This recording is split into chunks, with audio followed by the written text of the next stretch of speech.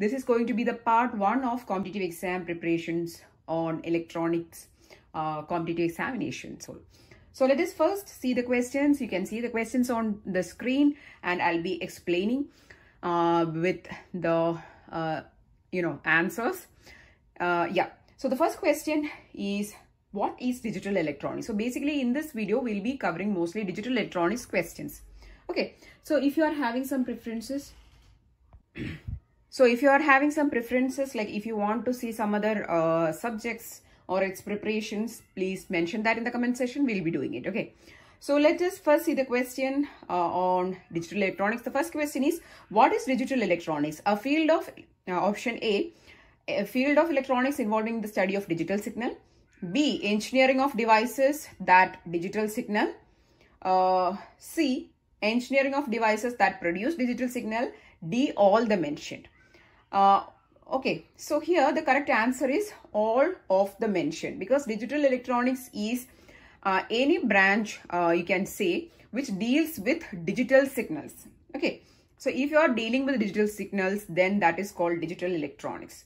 Something uh, which is like the equipments that create digital elect uh, uh, signals or uh, that uses digital signals or even the study of uh, digital signals.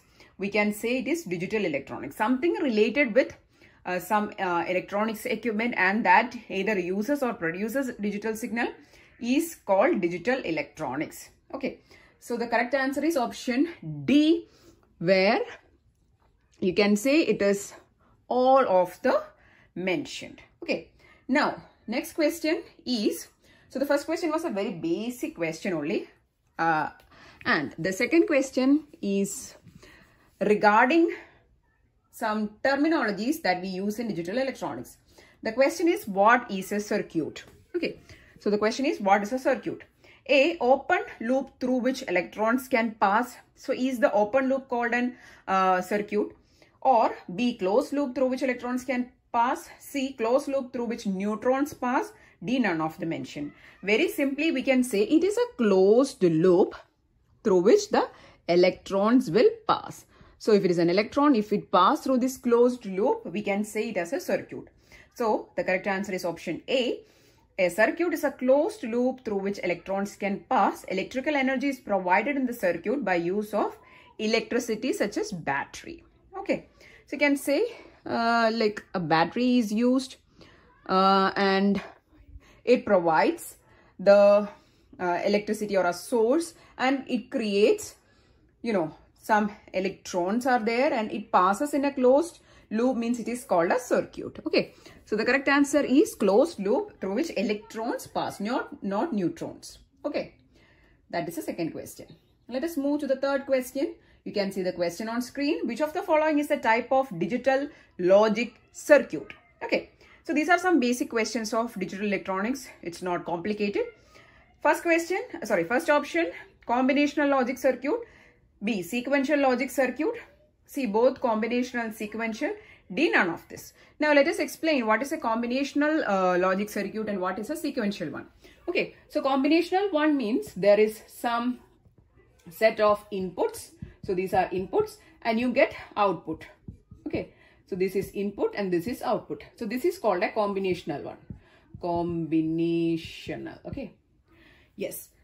Now, what is a sequential one and how is it different? So, this is a sequential one in which there is input. Obviously, there need to be inputs, right? Then there is output. And there is another one single thing, one more thing, which is called state. You can say this is state or memory and this one is sequential one. Okay. So if you don't know what is a sequential one and a combination one, a combinational one plus a state or a memory is called sequential. So this is, you can say a little bit progressed version of the combinational one. Okay. So that is a sequential one. In the sequential one, the output not only depends on the input, but also on the state, current state or present state. It depends. Or you can say it depends on the memory. Okay, you can say this as a memory or a state. It also depends on the state and the input. That is output depends on input and the state. But in case of combinational one, it only depends on uh, inputs, whatever inputs combination is giving, it will produce the output. Now, what can be the example of combinational one? You can say mux, demux, then half adder. These are examples. Okay. Now here, this one is flip-flops are sequential ones because it depends on the memory also of the state. Okay. So these are examples of combinational sequential. You can also have other examples. So just basic uh, examples and basic difference is this. Now, what are digital logic circuits? These both, that is combination and sequence, it both comes under the digital circuits only. So correct answer is C, both combinational sequential. Okay. Now, let us move on to the next question. Okay. Actually, my board was been using I mean, my daughter was using my board even for playing because I was not using this for quite a few years, you can say. So it has been in a little, not in a good condition.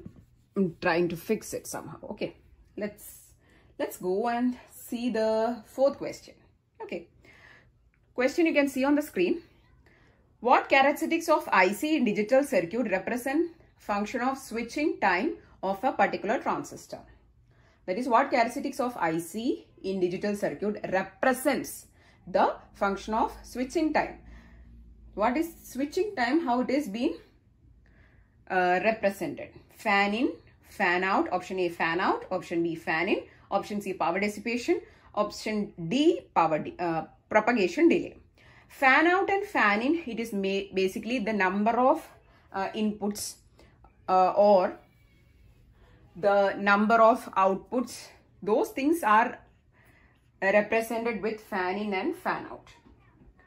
But the uh, switching time of the transistor is represented as propagation delay. Okay, it is called the propagation delay. Okay, correct answer is option D, which is the propagation delay. The propagation delay is the parameter which is affected, getting affected or it is represented in terms of the switching time for the uh, transistor for undergo switching for various states it requires some time or there is a time. So that is represented as propagation delay. So propagation delay represents the function of switching time of a transistor or a MOSFET. Okay. Next question next two questions is connected with the D flip-flops. Okay let us see what is the question the first question is what will be the output from a D flip-flop if the clock is low and D is equal to 0.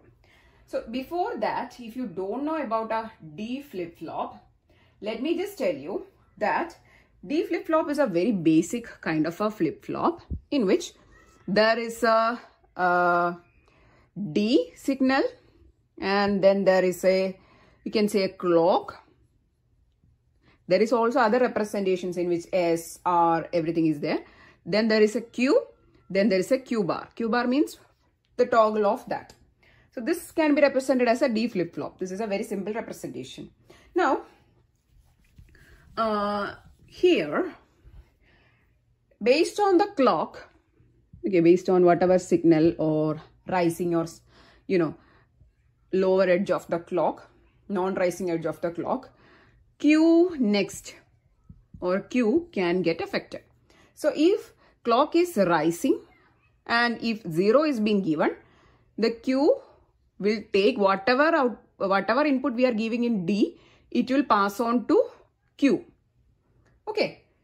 And Q bar will be toggle of that. We won't consider, we, we are not considering that right now, but based on the clock value, if the clock is rising, then whatever D input is given, output will be same. And if clock is again rising, if you are giving 1 to D, output will be again same as the D value. Now, if clock is uh, not rising, like this if you are representing, okay, then whatever be the value of D output will remain the previous state Q previous okay so like this you can say so if clock is up or clock is rising if you are giving some inputs to D means that will be the same as output. But if the clock is not rising, whatever be the D value, Q will be the previous value only. Okay. Now, based on this knowledge, let us try to answer the first one. First question. Like the first question on D. So, the question is asking what will be the value uh, from D, from a D flip-flop means what will be the Q next value. If the clock is low means the clock is down. Clock is down and D value is equal to 0. Options is 0, B1, C no change, D toggle. Correct answer is C no change because whatever be the value on D, the output will be the previous value only if the clock is low. Okay, correct answer is C. Same question, same type of question is next question where what will be the output from uh, D flip-flop if D is equal to 1 and clock is low. Again, clock is low. So, options A, no change. B, toggle between 0 and 1. C, 0. D, 1. Correct answer is no change. Okay. So, whenever clock is not rising or clock is down, okay, then the value will not, uh, means the value will be the same. The output won't change. Okay. Next question. That is the last question for today's video. We'll be definitely doing more of this series and in that we'll be discussing more questions. Okay. So the question is, what is a group of four cells in a K-map called? Option A, pair. Option B, quad. Option C, octet. Option D, octave. Correct answer is quad. So if you draw a flip-flop, sorry, uh, if you draw a K-map like this. So this is a four variable K-map. Okay. So if you are drawing a K-map like this, how will you represent the variables in a K-map? Okay. So I'm going to divide as four rows and four columns. Two, three, four. One, two, three, four. Okay. So I'm going to uh, draw a four variable K-map in which I'm going to draw the values here. Like this will be 0 0 this is 0 1 this is 1 1 1 0 like that you will represent 0 0 0 1 1 1 1 0 right? And the positions are 0 1 3 2 right then 4 5 7 6 then after that 8 9 11 10 right. Then this one is 12 13 15 and 14 right. So now if i'm going to put like if i have like ones here in one these two 5 and 7 if i have one and if i'm going to pair these two it's called a pair just like we say normally this is called a pair okay? And if there is four ones we can actually group these four ones right? And it is called a quad. This is a quad okay? And if there is eight cells and if you are going to group the eight cells it is called octet okay? So pair quad and octet. So the correct answer for the question here is going to be option b quad if you want to learn more about KMAP, we have like two separate videos on KMAP. Please go and watch those videos. Actually, there is a lot of resources on electronics related topics in our channel and most of them has very less views and I'm obvious that you have not watched it. Please watch those videos. It will be definitely useful. So that's all for today's video. We'll be coming back soon with another part of competitive examination preparation of electronics related competitive exams like VSSC Technical Assistant or ISRO Technical Assistant. Please watch those videos. Please support the channel. Thanks for watching. Keep on watching.